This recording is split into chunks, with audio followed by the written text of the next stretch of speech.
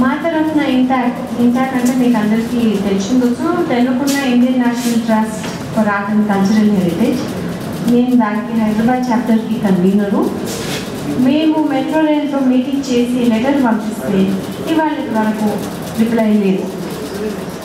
అది heritage conservation కమిటీకి నేను లెటర్ ఇచ్చాను. HMD letter heritage conservation committee దానికి వాళ్ళు ఒఫిషియల్గా లెటర్ పంపిస్తే రిప్లై లేదు కొంతమంది కోర్ట్స్ ద్వారా చేసే దానికి రిజల్ట్ లేదు.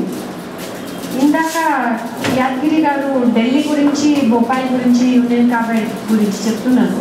అంత దూరం కూడా అవసరం లేదు. మనకి ఇక్కడనే హైదరాబాద్లో రీసెంట్ పాస్ట్గా చూసాము. జడ్జెస్ లాయర్స్ మైనింగ్ కంపెనీస్ ఎట్లా ఎవరెవరిని ఇన్ఫ్లుయెన్స్ చేసి మన చారిత్రక జైలు చర్చలు కూడా దాంట్లో అందరూ ఉన్నారు హాయిగా హాయిగా ఉన్నారు. ఎందుకంటే చచ్చిపోయిన జైలు నేను చూసినాను.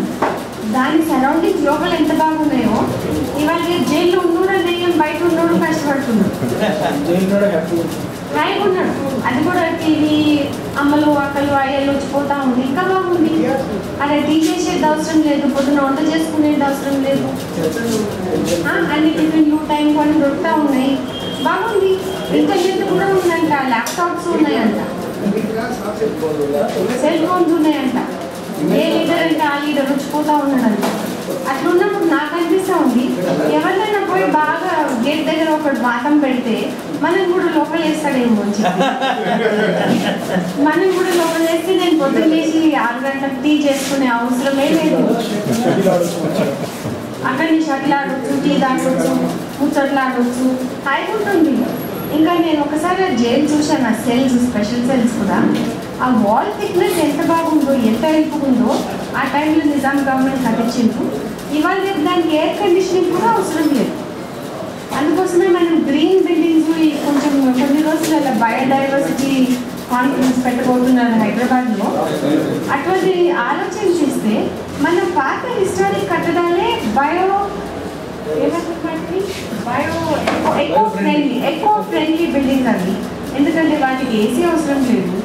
న్యాచురల్ లైట్ న్యాచురల్ వెంటిలేషన్ ఎంత హాయిగా ఉందో. అందుకోసమే నేను మళ్ళీ చెప్తాను. చెంచల్ కూడా జైలు హాయిగా ఉంది. అక్కడ అందరం పోయి విజిట్ చేస్తే మా- బాగుంటుందేమో. డే స్పెండింగ్ చేసుకుందాం. ఇంతలో మన టెక్నికల్ ప్రాబ్లమ్ సార్ట్ అవుట్ అయితే నేను విజువల్ ప్రెజెంటేషన్ చూపించగలుగుతాను.